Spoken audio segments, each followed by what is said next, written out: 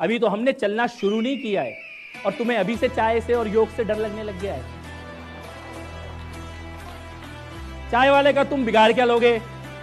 और योग वाला आ गया तो तुम उखाड़ कुछ नहीं पाओगे।